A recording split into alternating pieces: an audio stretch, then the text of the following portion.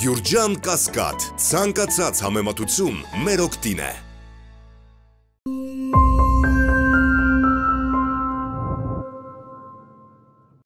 Պատերազմ եք ուզում թե հանգիստ ապրել։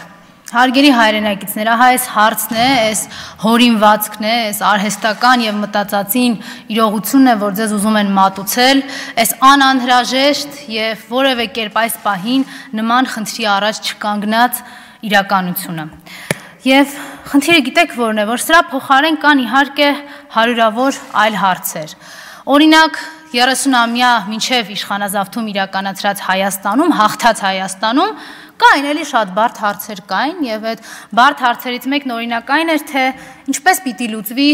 Արցախյան հիմնախնդիրը եւ վերջնական ինչ հանգուցալուծման պիտի գա։ Բայց կասկածից, համոզմունքից վեր էր այն փաստը, որ Արցախը կա, Արցախը հայկական է, Արցախը ամուր է, Արցախը անկախ է եւ Արցախն արդեն իսկ ինքնորոշված էր։ Բայց այս ամենը շրջելու, փոխելու, գլխի գլխիվայր էս իրականությունը շուռ տալու համար հայտնվեցին իշխանազավթները։ Այս մարդիկ դիտավորությամբ շուռ տվեցին ամեն ինչ։ Շուռ տվեցին հազարավոր զոհերով, հայրենիքի կորուստով, Հայաստանի ներխուժումը թույլատրելով, անդադար զիջումների գնալով, որոնց վերջը չի երևում,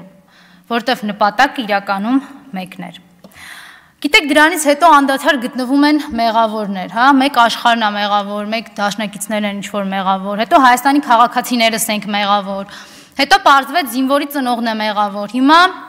մի նոր թար մեղավոր է գտնվել, ցուլն է մեղավոր, այո, չզարմանաք, ցուլը մեղավոր է եւ եթե 2018-ին մենք բախվեցինք սևերի սպիտակների բաժանմանը, այդ ատելության արհեստական ստեղծված մտնոլորտին, Եթե 18 թվականին հայոց հաղթանակած պետականությունը եւ այդ զարթոնքը դագաղների մեջ թաղելն էր, հիմա ապա արդեն ցուլին կարմիր գույնը միայն դուր չի գալիս։ Միգուցե սա ծիծաղելի կլիներ, եթե մեր հայրենիքի եւ մեր պետության ճակատագիրը այսքան խեղված չլիներ այս խեղկատակության արդյունքում։